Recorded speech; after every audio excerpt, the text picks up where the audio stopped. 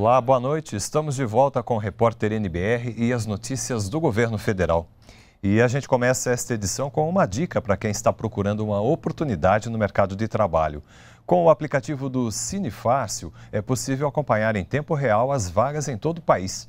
O aplicativo pode ser baixado no smartphone ou tablet.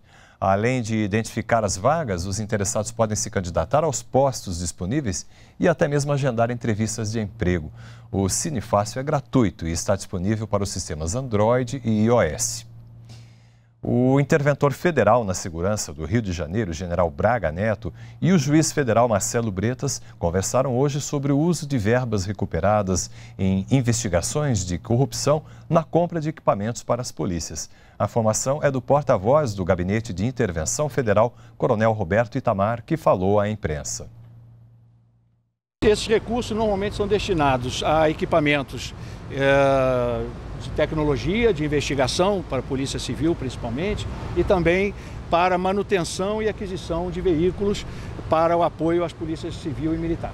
Todo o recurso que chega para aportar aos esforços de segurança pública para o Rio de Janeiro são bem-vindos. Então, esta é mais uma fonte, além do orçamento do Estado e do governo federal, que poderá aportar a essa, esse esforço que está sendo realizado para a melhoria das condições da nossa segurança pública no Rio de Janeiro.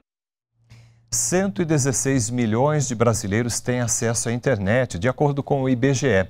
Os números também mostram que 70% dos domicílios do país têm acesso à rede. Enviar uma mensagem, ligar para alguém que está longe ou ter acesso rápido à conta bancária agora pode ser feito com poucos cliques no celular. Por outro lado, ainda tem gente no Brasil que mora em regiões sem acesso à internet. E a garantia do acesso à rede mundial é o tema da entrevista com o ministro da Ciência, Tecnologia, Inovações e Comunicações, Gilberto Kassab, que é o convidado de hoje do programa de rádio A Voz do Brasil, que nós vamos acompanhar aqui. Em especial, boa noite às mulheres. Ministro, a gente começa falando dessa possibilidade de levar a internet aonde a população ainda está desconectada. Como é que isso vai ser possível? Em primeiro lugar, é importante registrar o porquê o governo federal vai conseguir levar a internet. Vai conseguir levar a internet porque esse governo investiu 3 bilhões de reais no lançamento de um satélite. É o primeiro satélite de propriedade do governo brasileiro. Então foi uma opção de uma política pública do governo que vai permitir beneficiar aproximadamente 53 milhões de brasileiros. Por que 53 milhões? Porque no meio desses 53 milhões, sempre tem um cidadão que não tem internet na sua casa, um cidadão que não tem internet na escola dos seus filhos, um cidadão que está sendo atendido na rede pública de saúde e na hora de fazer um diagnóstico, o médico não tem internet para compartilhar esse diagnóstico com algum médico de algum, outra, algum outro grande centro hospitalar. Então veja quantas pessoas vão ser beneficiadas. O satélite vai permitir em todo o Brasil, qualquer que seja a localidade, qualquer município, levarmos a internet. E tem mais, não é só na localidade. Nós firmamos convênios com o Ministério da Educação. Esse convênio vai permitir ao governo federal, ao governo brasileiro, em pouco tempo, quando eu falo pouco tempo, 3 a 4 anos, levar a banda larga para todas as escolas do Brasil vai permitir, através de um convênio com o Ministério da Saúde, levar a banda larga para todos os equipamentos de saúde do Brasil. Vejam que extraordinário, vejam que mudança que isso vai trazer para tantos brasileiros. E, ministro, para que haja condições para essa distribuição de toda essa rede de internet, as prefeituras precisam se integrar ao programa Internet para Todos, não é isso? Explica um pouquinho para gente. É verdade. Esse satélite tem uma capacidade.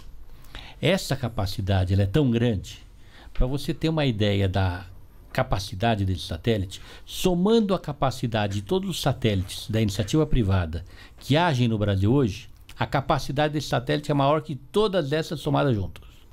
E isso nos permitiu fazer esse programa Internet para Todos, aonde nessa segunda-feira, 12 de março, aqui em Brasília, com a presença do presidente Temer, de diversos ministros, nós vamos assinar individualmente com cada prefeito o contrato que permitirá ao governo federal levar banda larga, levar internet a esses municípios aonde não tem conectividade. O que quer dizer isso? Em regiões onde as pessoas não podem acessar a internet. E, ministro, depois dessa assinatura, que será agora na semana que vem, qual o cronograma, eh, quando é que a internet vai chegar de fato a essas, essas cidades, a esses municípios? Os prefeitos que assinaram o contrato nessa segunda-feira, para você ter uma ideia, são esperados aqui em Brasília 2.500 prefeitos que já estão habilitados a assinar o contrato.